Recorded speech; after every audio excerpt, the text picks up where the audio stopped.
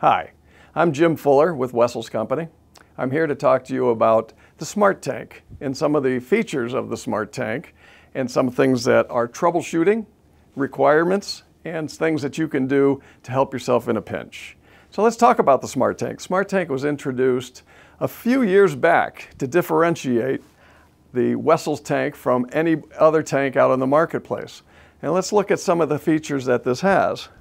First, there is a cover plate that allows you to get to the internals and it protects during shipping.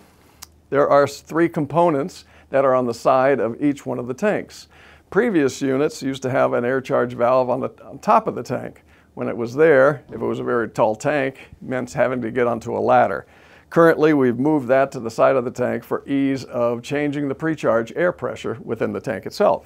In here, you will see the pressure gauge, and the pressure gauge has two needles. First needle is the black needle. That black needle will show the pressure, air charge pressure within the tank. Then there's a red follower needle. That red follower needle follows the black needle to the high pressure, and then as it detracts from that high pressure, it leaves the red needle in its place. So that's your first area for troubleshooting the tank. If that pressure goes up and pegs the, the pressure on the uh, uh, gauge itself, then we know that there's an issue. The third feature is that of the WessView. The WessView is a color changing desiccant. But what I want to talk about today is what that actually does. That unit will detect whether or not there is a issue with the internal bladder or the diaphragm. If the bladder or diaphragm were to have an issue and split, we could get water on the air side of the tank. That water changes the desiccant from white to red. You say, yeah, but I can get some other colors. I've seen those. What does that mean? Well, I've got some examples. For example, this one might come in and say, that kind of looks red, but it kind of looks brown. It kind of looks white. What is it?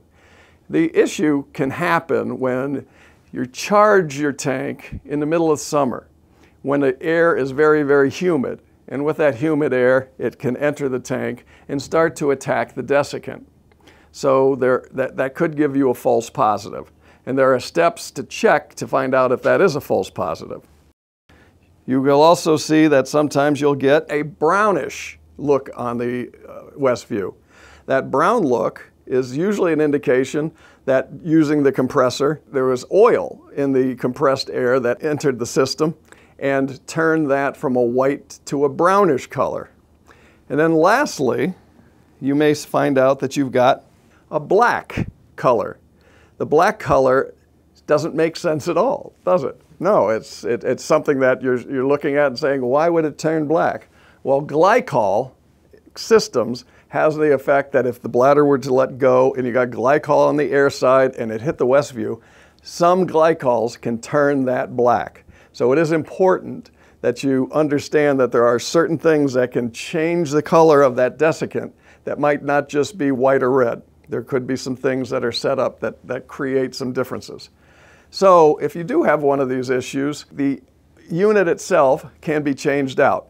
So let's talk about the steps. First step to change out is to make sure that you've relieved any water out of the tank. So you want to make sure that if you have a shut off on the system, you shut that off and you allow the water to come out of the tank. Secondly, you press the charge valve. If that charge valve starts with water coming out of the charge valve, you know that the, the bladder is gone and you need to replace the tank if it's a diaphragm tank or replace the bladder if it's a bladder tank. If you're getting air out, that doesn't mean you're out of the woods. But what you need to do at that point, if you are looking to change out your WessView, is you need to remove, use a valve core remover, remove the valve core to allow the pressure, air pressure out of the tank to be relieved to atmosphere. At that point, you can take out the WessView and, and then you could put in the new WessView. What if you don't have a new WessView? Starting with some needle nose pliers, you'll notice that on the WessView, there is a lock washer on the back. Remove the lock washer. The lock washer is holding a spring.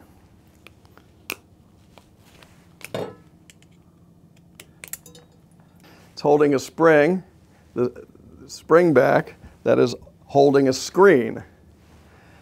from that screen, you'll see a red disc. You remove that red disc and then you clean until you have what would look like just a see-through type sight glass. With the sight glass, you want to put in the secret formula for the desiccant, salt. All right, the salt is the actual desiccant, and you're, you're going to want to put in uh, like a half, a half a teaspoon or so. Not even, maybe a quarter teaspoon, until it covers the sight glass. Then you put in your red disc, your screen, your spring, and your lock washer, and put it down, and that is now ready to go as the WessView. So it is very simple to change, and if you're in a pinch to try to get something back in operation, it's a lot faster than having to wait for the factory to send you out a new WessView to go back to the job to fix it. So that kind of goes through some of the troubleshooting aspects of the WessView. If you would like to uh, get more information, please visit westank.com. If you found this video helpful and informative, please like, subscribe, and drop a comment below. Thank you.